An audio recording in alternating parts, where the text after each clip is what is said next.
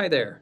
Today I'm going to give you a quick overview of the new Forerunner 165 series. A lot of this information is also going to apply to our 265 and 965, but we wanted to give you a quick overview for some tools, tips, and tricks. Let's get started. So, inside the box, you are going to find a Forerunner 165 series watch, the quick start manual, a USB C to proprietary Garmin and charger, and uh, a safety and informational guide.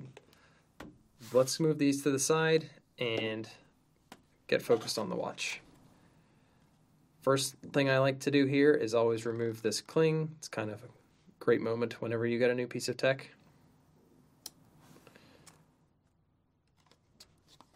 And you can go ahead and unclasp the buckle and remove the watch from the packaging. Let's go ahead and get this Forerunner 165 turned on and connected to Garmin Connect so you can get ready and go for a run. To power on the device, press the top left button and hold it for about 3 seconds.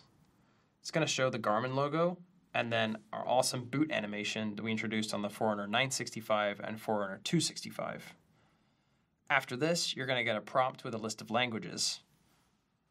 And you can either scroll up and down on that list using your finger on the touchscreen, or you can use the middle left and lower bottom left buttons to scroll up and down.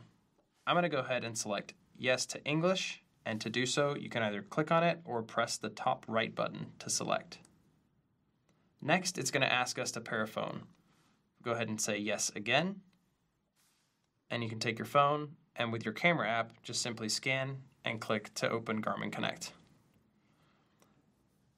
Next, it's going to give you a prompt to connect the device. You can hit select to connect and then make sure that the pin matches with your Bluetooth. Hit pair. Allow notifications if you want. And then hit next.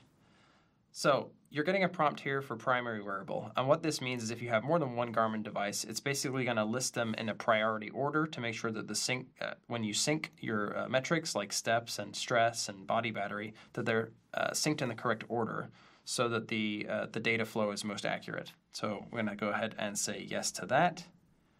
And then confirm uh, your sleep schedule. So for me, it's going to bed pretty early and waking up super early and then we're to hit sync now for a final sync and hit finish.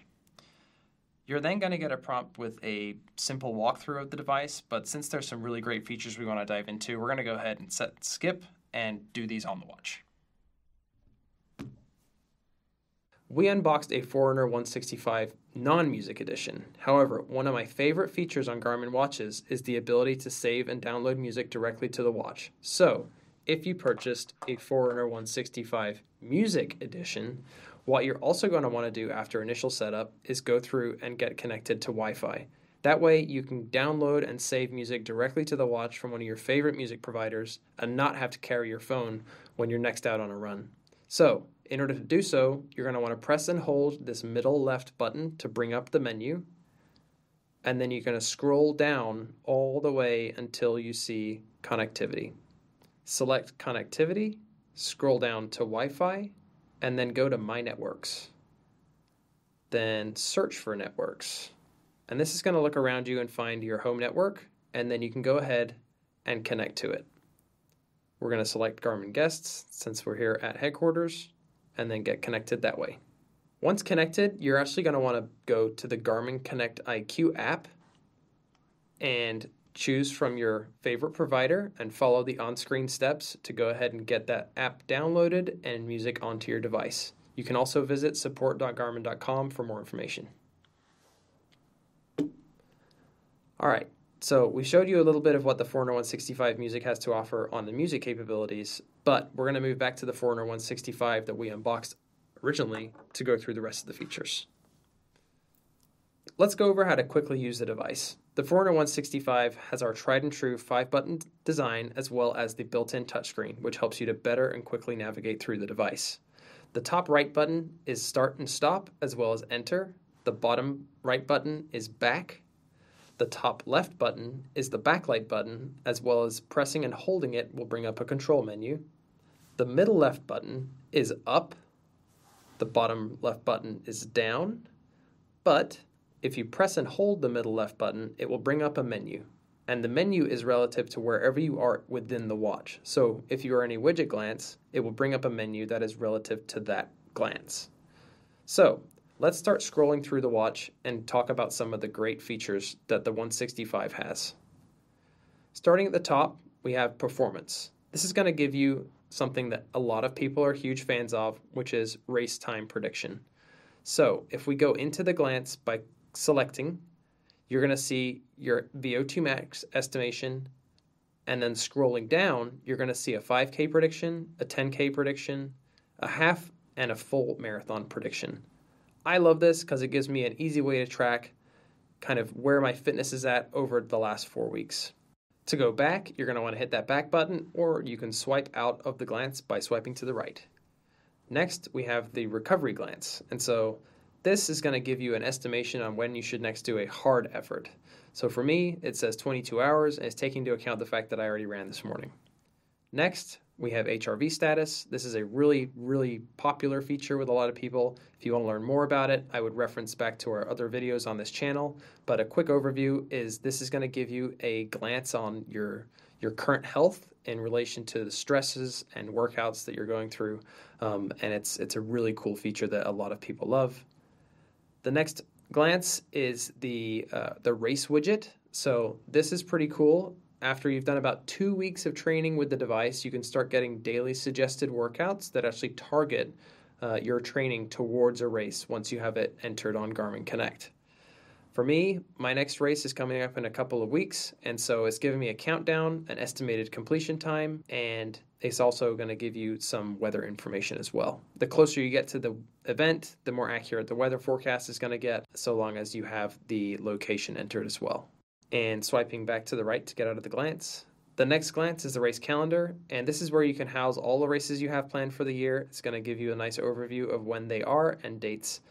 And uh, also, if you click into them, you can kind of see some of the information that's previously referenced in the race widget above.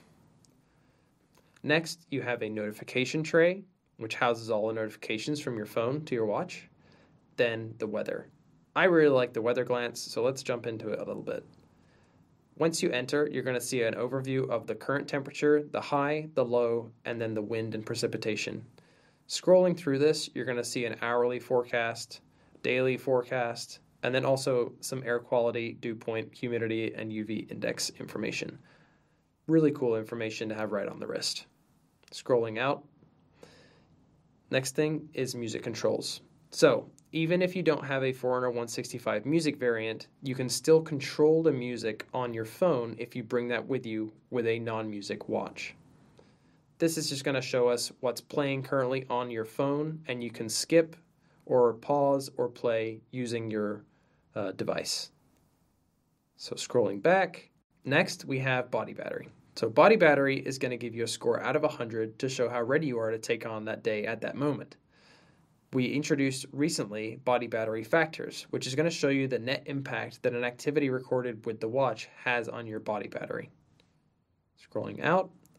Next, we have heart rate. So, this glance is going to give you an indication of what your current heart rate is, what your resting heart rate is, and then if you scroll down, a seven day average heart rate uh, window to show what your resting heart rate is each day.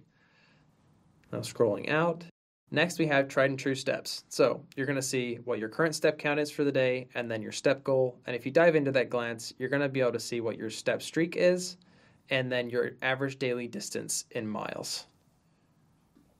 Next, we have the sleep score widget. So diving in, you're going to get a quick overview of what your sleep score was and then some other metrics about your sleep. You can scroll through this glance and see numerous information about sleep stages, how they align with previous nights, and then also some uh, weekly trends as well. If you scroll back to that first page, clicking the top right hand button will bring up a mini menu that gives you a sleep insight as well. So, all great things to be able to access right on the watch. Scrolling down, we have our new nap glance. So, you can now record naps either manually or have them be captured automatically by the device. To start a manual nap, you're going to want to enter the glance, hit enter again, and hit start nap. If you want to have it automatically captured, just take a nap. Scrolling down from there, I have a weekly running mileage uh, glance. This is going to show my last run, and then if you want to jump in there, you can also scroll through and see what you've done for the week so far. Then there's an edit. The edit button allows you to add more glances. So if you hit enter, you can scroll through the list of what we just went over, and then you can add more and customize your watch completely to your liking. So say I wanted to go ahead and add stress as a glance, I can scroll to that, either hit enter or select it on screen. Once that's been selected, you can scroll down and hit done. Then stress is going to show up as a glance for you in that uh, list of glances that we just covered. Then scrolling up one more time brings you back to the home screen. Another thing I want to quickly cover is the control menu. So as we discussed before, press and hold the backlight button to bring up the control menu. You can then scroll through the wheel using your hand on the touchscreen or using the up and down buttons on the left side. Here you can quickly power off the device, lock it, or access the clocks to set an alarm, timer, or stopwatch. Once you're done in here, you can either scroll back or hit that back button to get back to the home screen. All right, you're probably all wondering, how do I go for a run? So, from the home screen, you're going to want to press the Start Stop button. This is going to bring up a list of activities. We have some pre-selected ones like run, track run, and treadmill, but if you scroll down, you're going to see a whole bunch of other activities that you can use with this watch. And for even more, scroll down to add, and you can see we have a huge list for you to choose from for whatever you're wanting to do with your watch let's go back and start a run. So like we said, press start stop and then select run. It's going to give you a daily suggestion, which you can manually turn off if you don't want. But for me, it's saying rest. I ran already this morning, so I'm going to go ahead and dismiss this, this notification. And here you have a pre-run menu. So before you start your activity, you always want to make sure that the GPS is connected. You know it's connected when this bar is fully green. From here, you can also see that the phone is connected and that it's searching for heart rate. If I had it on the wrist, that heart rate would also be solid. From here, you can scroll down and see what these data fields are going to look like before you go for a run. And you can scroll through and then back. When you're ready to go for a run, you go ahead and hit that start stop button again. When you're ready to pause or finish your run, press it one more time. This is going to bring up the final menu. And so, as you can see here, the touchscreen is disabled. During an activity out of the box, the touchscreen is disabled during activities. I'm not going to save this activity, so we can scroll all the way down and hit discard. All right, now let's go through the data fields because these are all fully customizable and you can set it up exactly the way you want so that whenever you're out on a run, the data that you're seeing in all, all of the screens is what's most important to you. In order to do so, press and hold the menu button, which is the middle left button. This is going to bring up the menu for the running activity. You're going to go to Run Settings and Data Screens. Here, you're going to see the layout of what you would see if you're within a run. You can hit this little pencil to edit the layout and the data fields, or reorder them if you already like what's on the screen. First, let's go through the layout. You have various layout options on the Forerunner 165 series from one data field all the way up to four. You can quickly glance through them just by scrolling. Let's stick with four. Next, we're going to actually change the data that's being presented on the screen. So, to do so, hit that pencil icon, scroll down to data fields, and then the data field that's being edited will start to flash. If you scroll up and down, you can see that it will move through the screen until you get to what you'd like to change. For me, I don't want to see total distance. I would rather see lap distance. So in order to edit that, I wait till it's flashing by scrolling to it, hit enter, and then scroll to distance fields. Hit enter again and scroll down to lap distance. Once I've confirmed that's what I want, you select it and there you go. It's already automatically updated. Another quick and easy way to change the data fields on the device is to use Garmin Connect. So, once you have Connect open, you're going to want to go to the settings and go to current activity. From here, select data screens. You can quickly see that the three uh, screens we have available to edit are the one we're on, the secondary one, and then the clock. So we're going to go ahead and select the one that we're currently in. And from here, we can change anything. So we can change the layout, it's going to automatically update on the watch. And then we can go through and change what data we want to see. I like to do this in Garmin Connect because it's a very easy way to get this done and you don't have to click and mess with all the buttons. So here we can go and change through and say, let's do the heart rate gauge. And as you saw, it updated instantly on the watch. So very easy to get your watch looking exactly the way that you want. To get back out, we'd hit that back button, back again, all the way to the home screen. Another thing you can set up on the Forerunner 165 are alerts.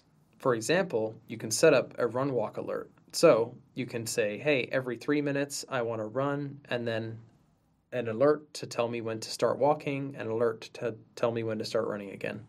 We can quickly do this by going back to the run settings. So to do that, we're going to hit that start stop button again and make sure we're on run. Press and hold the left middle button to bring up the menu and select run settings. From here, scroll down to alerts, add new, and there's a list of various alerts that you can set, but we want to do the run walk timer. So select the run walk timer, select the runtime, and then it's going to ask you to select the amount of time that you want to run for. So let's say we're going to run for seven minutes. Next, it's going to tell you to set the walk time. And I think we're going to do one minute. So now, when you start a run activity, it's going to alert you. You're going to walk for one minute, and then it'll start that seven minute timer again for running, and so on and so forth. To back out, we can scroll all the way out or hit that back button. Once you've been using the Forerunner 165 for about two weeks, you're going to start getting daily suggested workouts. These workouts dynamically adapt based upon your recovery and your training to give you guided help on how to become a better runner. We've been giving you a brief overview of the Forerunner 165 non music edition.